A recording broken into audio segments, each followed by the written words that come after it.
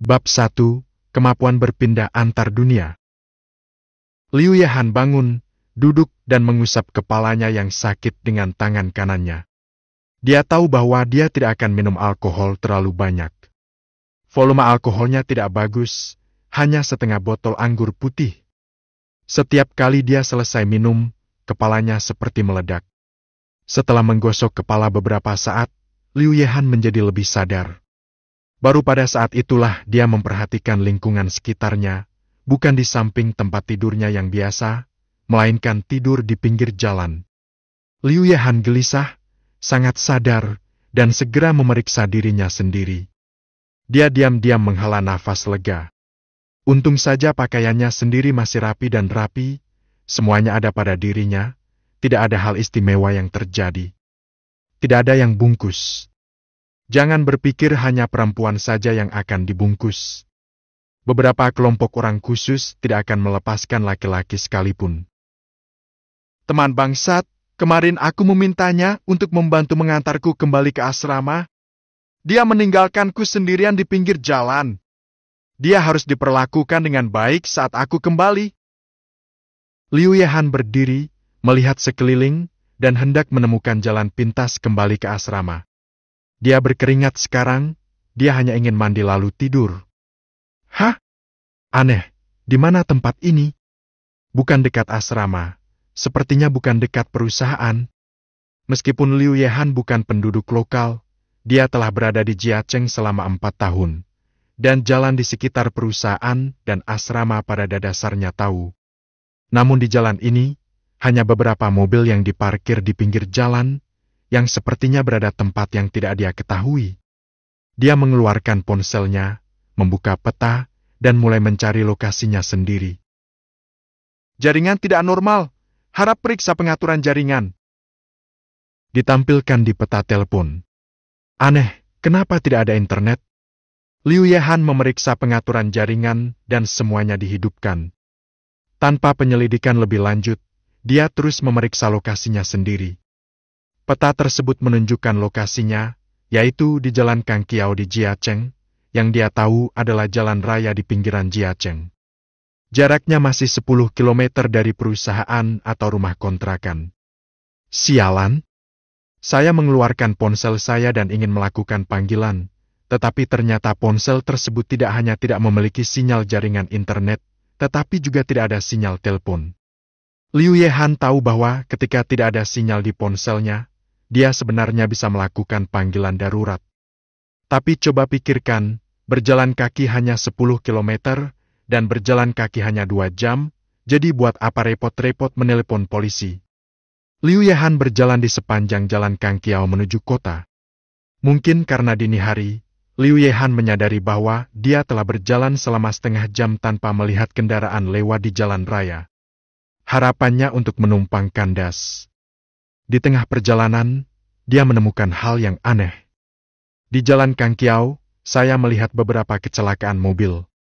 Mobil-mobil itu tertutup debu dan seolah-olah lama berada di tengah jalan. Dalam kesan Liu Yehan, setelah terjadi kecelakaan mobil, seorang polisi lalu lintas akan segera datang. Namun dalam waktu setengah jam berjalan, dia melihat kecelakaan mobil. Di lokasi kejadian kecelakaan mobil, tidak hanya terdapat puing-puing yang pecah, namun ia juga tampak memperhatikan beberapa tulang di bagian samping mobil.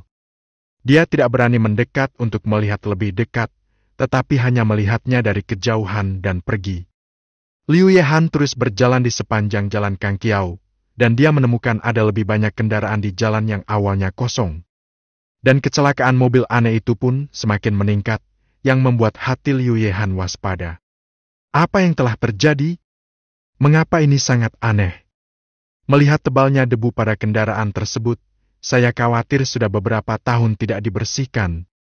Setelah berjalan 10 menit lagi, Liu Yehan menemukan bahwa kendaraan di depannya sudah penuh sesak. Segala jenis kendaraan rusak memenuhi jalan. Beberapa mobil melaju ke ladang di kedua sisi, dan tidak ada tempat untuk melangkah di depannya. Jika ingin melanjutkan perjalanan, anda hanya bisa menginjak mobil-mobil tersebut. Hah? Ada seseorang di sana? Ketika Liu Yehan ragu-ragu apakah akan terus berjalan maju atau mundur, dia menemukan sekelompok orang dengan pakaian compang kamping sedang berjongkok di sawah di pinggir jalan, mengambil beberapa barang dan memasukkannya ke dalam mulut mereka, karena mereka membelakangi Liu Yehan. Liu Yehan hanya bisa melihat punggung mereka. Melihat seseorang muncul, Liu Yehan sangat senang dan akhirnya bisa bertanya kepada mereka apa yang terjadi di sini. Tepat sebelum dia dapat berbicara, sekelompok orang sepertinya menyadari kedatangan Liu Yehan. Mereka semua tampak gila, dan mereka berlari dengan cepat. Saat sekelompok orang itu berbalik, Liu Yehan melihat wajah lawannya dengan jelas dan langsung terkejut. Ah sialan, Zambi? Sekelompok orang yang berlari itu seperti Zambi di Zambi yang Liu Yehan lihat. Zombie-zombie itu baru saja memunggungi Liu Yehan, dan dia belum memikirkannya. Liu Yahan melihat Zambi mengejarnya dan melarikan diri. Gelombang gerakan Zambi ini seolah mengaktifkan Zambi-Zambi yang ada di dunia ini. Ada banyak Zambi di lapangan kosong di pinggir jalan, dan mereka mulai berlari ke arah Liu Yahan. Zombie-zombie itu berlari sangat cepat. Setelah beberapa saat, Zambi sudah mengejar jalan dan secara bertahap membentuk lingkaran Liu Yehan. Ah, aku belum mau mati, Aku ingin pulang. Liu Yahan melihat zambi-zambi itu semakin mendekat dan tidak bisa menahan diri untuk tidak mengaum. Saat Liu Yahan selesai berkata, aku ingin pulang, dia hanya merasakan langit berputar. Setelah menggelengkan pikirannya, dia sepertinya mendengar seseorang berbicara di telinganya. Kawan, bangun, bisakah kamu mendengarku? Apakah saya mati? Liu Yehan membuka matanya dan melihat seorang wanita cantik berteriak dan menekan Liu Yehan. Zombie, Zambi? Seru Liu Yehan. Zombie apa? Beritahu kalian untuk tidak memainkan terlalu banyak game. Kamu mengalami halusinasi saat bermain game. Seorang polisi wanita yang lewat menampar Liu Yehan dan menemukan Liu Yehan yang pingsan di tengah jalan dan segera melakukan penyelamatan darurat. Ilusi? Maka ilusi ini terlalu nyata. Liu Yahan merasa sangat nyata karena adegan yang hanya dikejar Zambi sama sekali tidak seperti ilusi. Itu pasti ilusi. Apakah kamu baik-baik saja? Kembalilah dan istirahat yang baik dan berhenti bermain-main sepanjang malam. Polisi wanita itu melihat Liu Yahan merasa jauh lebih baik memberitahuku bahwa orang-orang seperti Liu Yehan dapat memiliki ilusi setelah bermain game. Ini bukan yang pertama kali sih. Terima kasih, Bu Polisi. Liu Yehan dengan tulus meminta maaf kepada polisi wanita itu. Entah itu halusinasi atau bukan, dia selalu menyelamatkannya. Tempat di mana Liu Yehan terbangun juga berada di pinggir jalan, namun kali ini bukan di jalan Kang Kiao, melainkan di luar rumah kontrakannya. Liu Yehan sangat berhati-hati karena takut dia akan bertemu Zambi lagi. Dia kembali ke asrama tanpa cedera, seolah-olah semua yang dia temui di Cambridge Road hanyalah halusinasi. Namun, ketika dia kembali ke asrama untuk mandi, dia tahu bahwa Zambi yang dia temui sebelumnya bukanlah halusinasi, melainkan benar-benar ada. Selama telah menyelesaikan pengalaman pertama dunia akhir dan mendapatkan 100 poin, Suara netral muncul di benak Liu Yehan. Bab kedua. Tidak hanya halusinasi yang muncul, tetapi juga halusinasi pendengaran. Merasakan hangatnya air di kamar mandi, mencuci rambutnya sendiri, membuatnya merasa bahwa inilah dunia nyata. Setelah mandi dan berbaring di tempat tidur, hati Liu Yehan terasa gatal. Apakah itu benar-benar halusinasi? Halusinasi pendengaran? Mengingat kalimat tadi, selama telah menyelesaikan pengalaman pertama dunia akhir dan mendapatkan 100 poin. Hal ini tampaknya menjadi kenyataan lagi. Pergi ke dunia apokaliptik dan kemudian menyelesaikan misi pengalaman pertama dunia apokaliptik sangatlah logis. Sistem? Liu Yehan mencoba memanggil suara-suara yang muncul di benaknya. Tidak ada yang menggema. Apakah yang barusan itu benar-benar halusinasi pendengaran? Liu Yehan kembali merasa ragu pada dirinya sendiri. Tuhan Tuhan, sistem, peri, Liu Yehan mengubah beberapa istilah tanpa menjawab. Skrip ini salah. Bukankah mungkin untuk mendapatkan suatu sistem dan kemudian menggunakannya untuk mematikan kuartet? Melalui. Begitu Liu Yehan selesai mengatakan ini, sebuah suara segera merespon di benaknya. Traversal gagal, waktu pendinginan untuk traversal tersisa, 23 jam, 20 menit, dan 38 detik. Hah, apakah kamu benar-benar mendapat tanggapan? Bukankah ini halusinasi pendengaran yang lain? Melalui traversal gagal, waktu pendinginan traversal tersisa, 23 jam, 20 menit, dan 35 detik. Liu Yehan sangat gembira, memang benar, ini sebenarnya bukan halusinasi pendengaran. Ia mulai mencoba berbagai kata untuk membangkitkan suara di benaknya.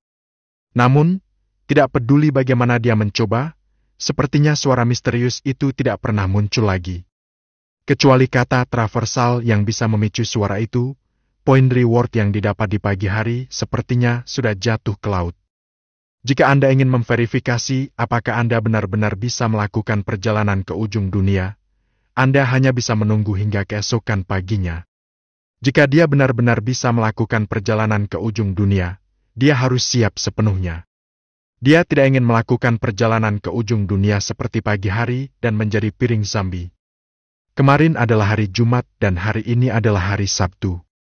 Perusahaannya mempunyai akhir pekan, jadi dia tidak perlu pergi bekerja. Jika tidak, dia harus mengambil cuti untuk membeli beberapa peralatan. Kakak Yu, aku membawakanmu sarapan. Bangun dan makan. Shidawei mengetuk pintu dan berteriak.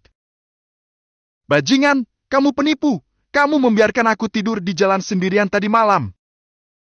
Liu Yehan keluar dan langsung meninju Shidawei. Rumah ini dibayar oleh perusahaan dan dia menyewa sebuah apartemen. Sebanyak empat orang tinggal bersama merupakan karyawan di perusahaan yang sama. Shidawei adalah teman sekelas dan rekan Liu Yehan. Mereka berdua belajar di sekolah yang sama dari sekolah dasar hingga universitas. Belakangan, mereka datang ke Jiacheng bersama dan bekerja di sebuah perusahaan bersama. Mereka adalah saudara yang sangat kuat. Tadi malam, setelah Liu Yahan selesai minum, dia menghubungi si Dawei dan memintanya untuk membantu membawanya pulang. Siapa tahu dia akan tidur di samping trotoar ketika dia bangun. Faktanya, Liu Yehan juga tahu bahwa Shidawei mungkin bukan alasan untuk terbangun di jalan Kang Kiao di pagi hari, tapi itu pasti ada hubungannya dengan Shidawei saat dia bangun di pinggir jalan pagi ini. Kakak Yu, apakah kamu demam? Omong kosong apa, aku menjemputmu tadi malam, dan kamu hanya berbaring di tempat tidur. Bagaimana kamu bisa tidur di jalan? Jika kamu tidak percaya padaku, tanyakan pada si Hongdong, aku menggendongmu ke tempat tidur. Shidawei berkata sambil berkata, tiba-tiba bingung. Aku pergi, Liu Yehan tentu saja mempercayai kata-kata Shidawei. Keduanya sudah bersama selama bertahun-tahun dan sudah akrab dengan kebiasaan satu sama lain. Dalam hal ini, mereka tidak akan pernah menipu orang lain. Kemudian saya melakukan perjalanan ke dunia apakalips, dan kemudian melakukan perjalanan kembali, tidak di tempat yang tetap. Apakah ini pengiriman acak? Penyeberangan ini tampaknya menambah ketidakpastian. Apakah saya harus mengambil risiko? Jika diteleportasi ke tumpukan zambi, berarti domba tersebut masuk ke dalam mulut harimau. Ini adalah petualangan sekaligus peluang. Jika Anda benar-benar dapat melakukan perjalanan ke akhir zaman, suatu akhir zaman, itu akan menjadi sumber daya yang sangat besar. Walaupun saya tidak tahu apa akhir dunia di sana, tapi melihat mobil-mobil itu, setidaknya eranya sama dengan sekarang. Ini akan menjadi peluang yang sangat besar. Liu Yehan diam-diam bertanya pada dirinya sendiri, apakah kamu benar-benar ingin melepaskan kesempatan ini? Coba pikirkan, sudah empat tahun sejak saya datang ke Jiacheng, dan saya belum punya tabungan apa pun, apalagi rumah, saya bahkan tidak punya pacar. Harus bisa, percayalah pada diri sendiri, selama kamu siap, kamu bisa bertahan meski kamu berteleportasi ke sisi Zambi. Liu Yahan diam-diam bersorak untuk dirinya sendiri. Setelah sarapan pagi, mulailah mempersiapkan penyeberangan besok. Liu Yahan membiarkan seseorang mengelas besi sepanjang 1,5 meter dengan pipa baja. Yang disebut panjang satu inci dan kuat satu inci, menghadapi Zambi tadi kenal, memiliki senjata panjang lebih baik daripada memegang pisau dapur untuk menebas orang. Lalu saya membeli pakaian yang bisa mencegah cipratan cairan, serta berbagai mainan kecil. Dengan set ini, saya menghabiskan lebih dari setengah tabungan saya. Saudara Yu, mengapa kamu membeli barang-barang ini? Mainkan cosplay? Jika kamu ingin membelinya, belilah beberapa senjata yang bagus. Shidawei mengambil senjata besi yang terbuat dari pipa besi dan memainkannya beberapa kali. Hehe, tidak apa-apa. Beli saja untuk dimainkan, bukan untuk cosplay. Liu Yahan tidak menjelaskan terlalu banyak. Lebih baik mengetahui hal semacam ini sendiri, dan dia belum mencobanya sendiri, jadi lebih baik kurangi bicara. Shidawei tidak banyak berpikir, meletakkan senjata besinya, mengambil ponselnya dan berkata, Berapa banyak bintang yang kamu punya? Jas mabar. Setelah bermain beberapa putaran game, keduanya beristirahat sendiri. Liu Yahan sedang berbaring di tempat tidur, bersemangat memikirkan hari esok pagi, sangat energik. Baru pada pukul dua pagi saya tertidur dalam keadaan linglung. Namun, Liu Yahan bangun sebelum jam tujuh pagi. Dia biasanya tidur sampai jam sembilan sepuluh saat liburan, sungguh di luar dugaan. Liu Yahan mengambil peralatan yang sudah disiapkan di sampingnya, dan berkata dalam hati. Transversal. Traversal gagal. Sisa waktu pendinginan untuk traversal. 1 jam, 05 menit, dan 25 detik. Saya mengangkat telepon dan memeriksa waktu, dan membandingkannya dengan sisa waktu yang disebutkan oleh suara tadi. Seharusnya bisa lewat pada jam 8. Dengan satu jam tersisa, hati Liu Yahan menjadi gugup lagi, dan dia memeriksa peralatannya berulang kali untuk melihat di mana ada perlindungan lebih. Saat saya membeli perlengkapannya kemarin, saya sudah memeriksanya berkali-kali. Saya pada dasarnya memikirkan semua yang dapat saya pikirkan. Bahkan jika dia ingin mematahkan kepalanya, dia tidak dapat memikirkannya, apalagi di saat yang penuh tekanan ini. Liu Yahan merasa satu jam ini telah berlalu begitu lama. Yang lain mengatakan bahwa rasanya seperti hidup selama bertahun-tahun, dan dia juga sedang mencoba perasaan ini sekarang. Setelah menunggu lama, akhirnya waktu menunjukkan pukul delapan. Liu Yehan sekali lagi memastikan bahwa semua perlengkapannya telah disatukan, dan kemudian dalam hati berkata dalam hatinya. Transversal. Setelah Liu Yehan menyeberang, Liu Yehan menghilang dari dalam kamar. Bab